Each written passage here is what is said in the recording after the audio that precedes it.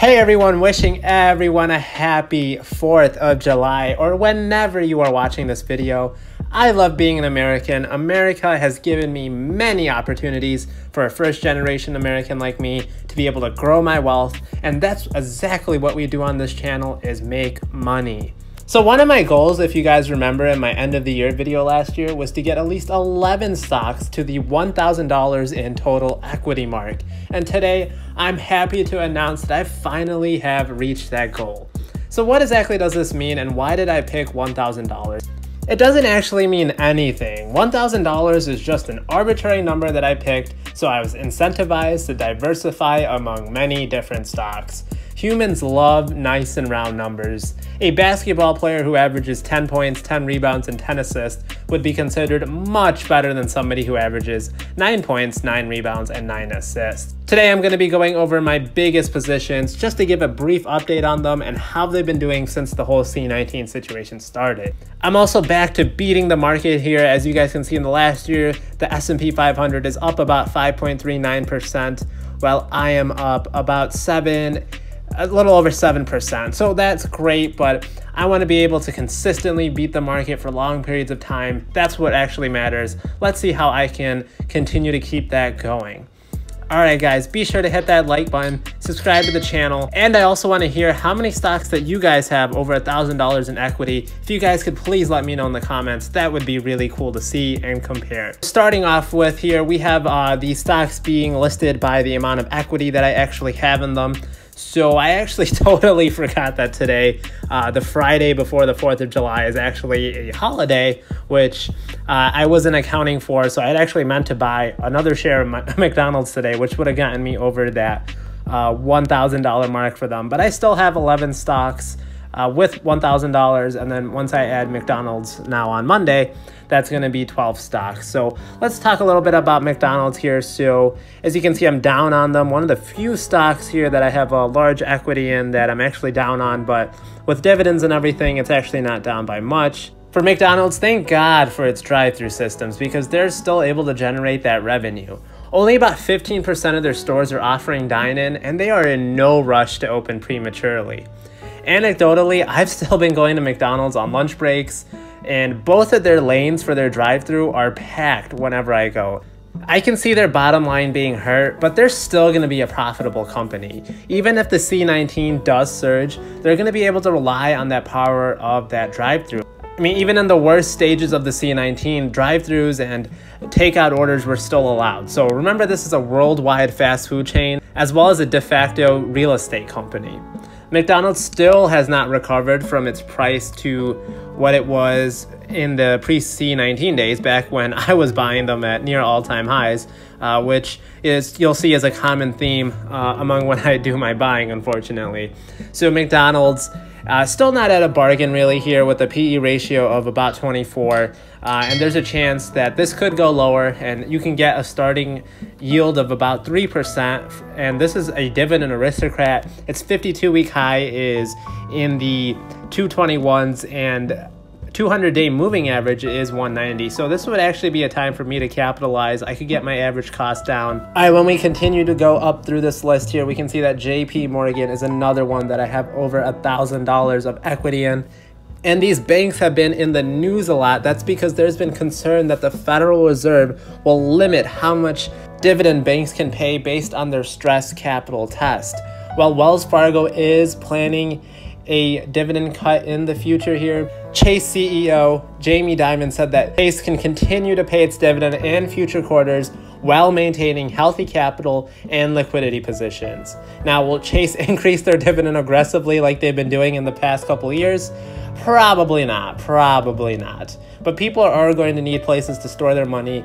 They're going to be able to need to get loans, whether that's for their houses or businesses. And Chase basically has the power to print money, and uh, they are the largest bank in the US. They have over $2.7 trillion in assets. And there's just no way that I could ever see them failing. Right now, you can get a starting yield of about almost 4%, and it's well below its 52 week high of 141, which I also bought around that mark. Uh, pre C19 days, and their 200 day moving average is 110. So, another great opportunity for me to be able to get my average cost lower on a nice blue chip company like them. And then the next one is as about as safe as you can get, and that is the utility company Duke Energy. So most utilities actually have a government allowed monopoly in the regions that they serve. So anytime I see a stock like this go down in price, I really am just scratching my head. And I just wonder why, because people are going to be prioritizing paying their electric bills. You're not going to make it very far in 2020 without electricity. Utility stocks sort of act similar to bonds. You're basically just holding them for their yields and stability at this point. This one is a no brainer, guys. Buy, stash, collect cash. Let's go, guys. And then next up here, we got Applied Materials. Applied Materials is a semiconductor company, and they usually don't do very well in times of a recession. But during their last conference call in May, the company said that their said their constraints were with its supplies, not demand for their raw materials. So Taiwan Semiconductor Manufacturing said that they are opening a $12 billion plant in the US with the US government's backing. It's going to be in the state of Arizona. And that's going to be a huge win for AMAT because they will need AMAT's machines for their operations. So this is a great company here. I'm up $165 or about 18%. And they're actually only down about 8% from their pre C19 days. So Applied Materials, another great stock to just be holding there. And then next up, we have 3M, M, M, M. I'm actually down on this position as well. So you guys will see that this is actually the last stock that I'm down on in my 12 biggest companies. And from here on out, we will see nothing but green for total returns. So 3M makes about 3% of my portfolio.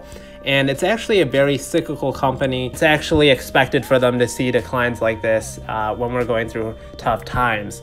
So they also do close to one third of their sales in Asia, which has been hit really hard with the C19. And then the trade wars that we've been having, that's not making stuff any better really for them as well.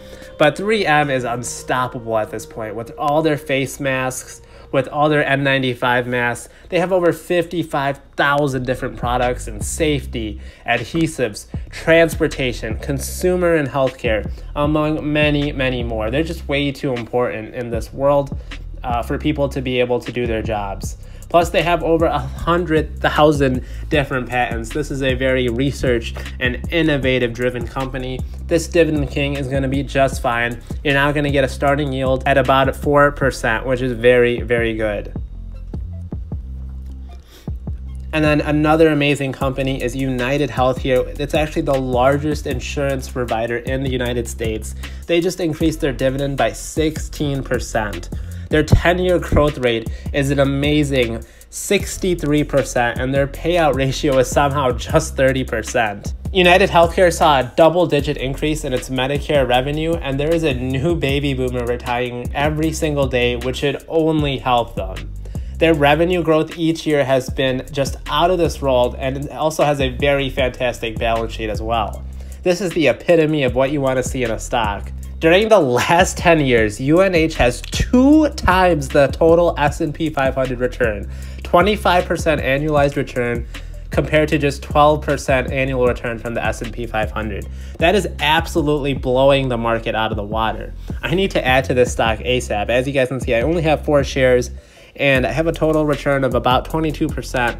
And they just increased their dividend, as I mentioned. So that's really nice to see a company do that. And they're really giving back to their shareholders and just expect fantastic things from them in the future. The next stock I own is Equinix, which has only two shares of them, but I have over $1,400 in equity. So this is a data center REIT and this one has really been an essential part for businesses if they want to be able to store or distribute data. So they have over 200 data centers in 55 different countries.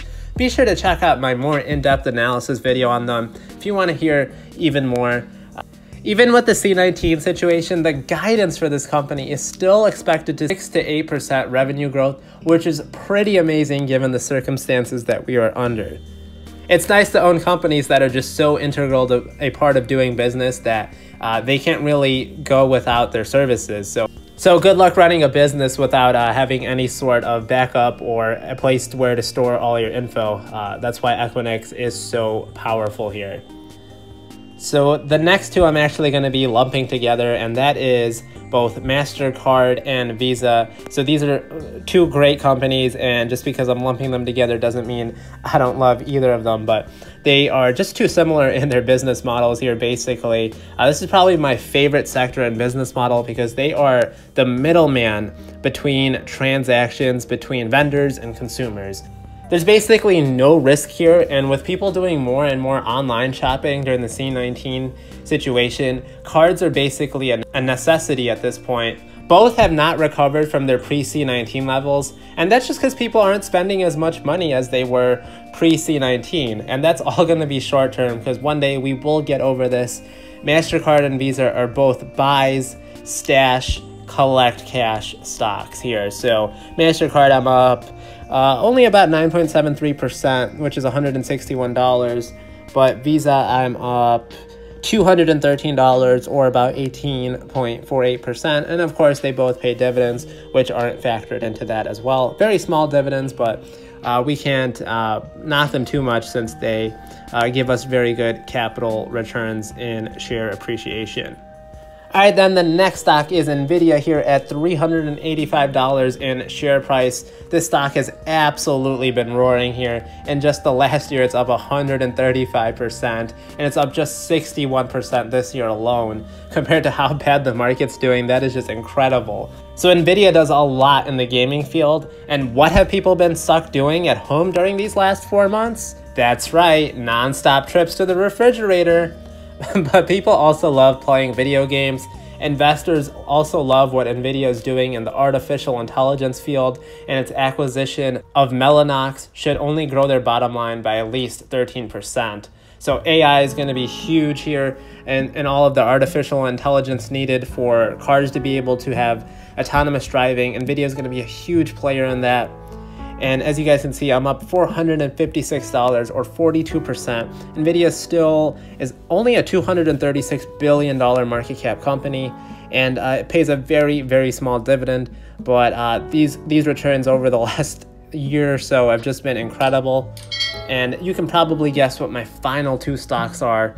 Microsoft coming in here at number two so they no longer have any more physical stores. They are fine closing down all of them and just doing online stores. I personally uh, am a little skeptical about that, but I'm going to be assuming that Microsoft management knows much better than I do. So Microsoft cloud sales are up considerably. Their office products are always hot in demand. LinkedIn is becoming more and more popular and seeing a surge in traffic because so many more people are unemployed these days, unfortunately. Microsoft is a no brainer investment. So we have $833 in total return. This is actually past the $2,000 mark in total equity. It makes up about 6.61% of my uh, total portfolio. A great company to be having such a solid foundation like that.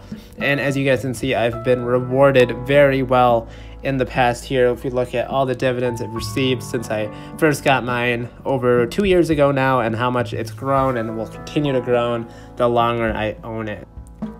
All right, and then this should be no surprise to anyone, but the number one largest position in my portfolio is NRZ. Oh, wait, no, how did that get there? It's actually Apple here at $2,500 in total equity. Apple share prices just went bananas here in the last three months, up 50%. Percent and every year they need to launch a new iPhone, and now people are super stupid excited for the iPhone 12. And you know, people who have no business financing new phones are going to be going out and buying the latest Apple phone solely because it's Apple. That's the power Apple has on people. I've been seeing a lot more people have Apple wearables lately, and that sector alone is now 11% of its revenue. It was this past quarter for Apple. So this is much more than a company that just sells iPhones with its other services and other electronics. Come on, guys, say it with me buy, stash, collect cash. Apple, phenomenal company here.